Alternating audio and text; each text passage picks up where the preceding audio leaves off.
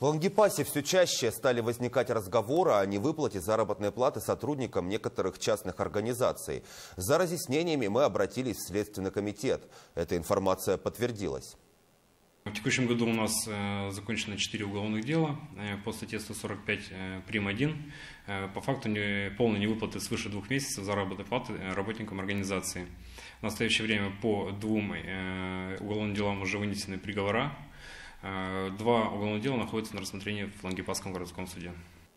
Сотрудники Следственного комитета акцентируют внимание на следующем. Чтобы обращаться к ним по поводу невыплаты зарплаты, нужны серьезные основания.